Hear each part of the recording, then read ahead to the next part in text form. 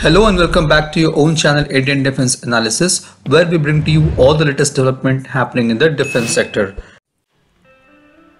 All the futuristic warfare is going to be driven by technology. In Russia-Ukraine conflict, we have seen how US Starlink network has helped Ukrainian forces to locate the Russian military assets and target them. The world has already seen various types of drone, UAVs such as loitering munitions, swarm drones, attack drones and ISR drones which are changing the warfare dynamics. Most of these drones are guided by satellite communication. In fact, not only drones but fighter jets, missiles, almost every defense communication relies on satellite communication. So what if these satellites are destroyed by using anti-satellite missiles which are already developed by our adversaries like China? The military will be literally blind and most of the military hardware will be merely a sitting duck. China has already developed the anti-satellite missiles, however never publicly acknowledged.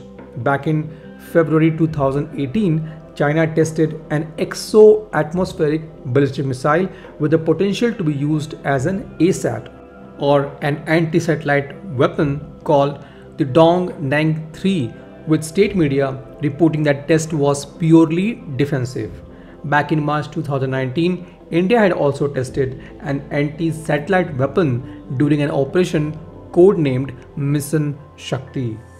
The target of the test was a satellite present in a low Earth orbit or LEO orbit which was hit with a kinetic kill vehicle. At present, there are only four countries, namely US, Russia, China and India possessing anti-satellite missiles.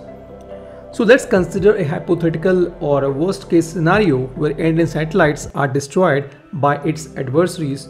What is the plan B for the Indian military? This is where DRDO's project Veda comes into play.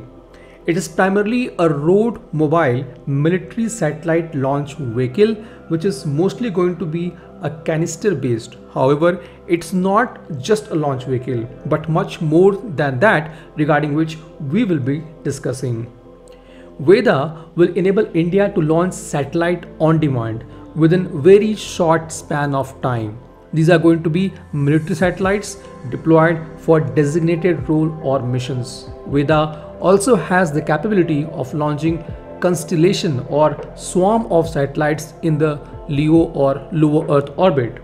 In situations where India loses its military satellites, it can be easily replenished with short span of time using Veda. There is also a probability or possibility of a nano satellite ejection system which can be incorporated in the payload of Veda in a clustered configuration. The nano satellites could be deployed to monitor over the conflict zone for intelligence gathering in short notice. Veda can also be used for offensive missions which can take kamikaze drone for destroying the enemy's satellite. Veda has capability to inject killer nanosatellites into precise orbits for head-on collision to take out the hostile targets. So basically, Veda is going to be one rocket which can perform multiple roles such as interception, anti-satellite missions and military satellite launcher. This is why it is going to be an ultimate weapon of DRDO. Though not officially confirmed, Veda is most likely to be a derivative of Agni 4 Mark II missile. Agni 4 is having range between 3500 kilometers to 4000 kilometers and can attain a flight altitude of 900 kilometers. However, there is likelihood that Veda can be based on ASAT missile which is India's anti-satellite missile and a modified version of Prithvi Defense Vehicle Mark II. There is lot of secrecy maintained around this project. Therefore, there is very little information available about this ultimate weapon of DRDO. This was today's update. Please let us know what is your views about these in comment section.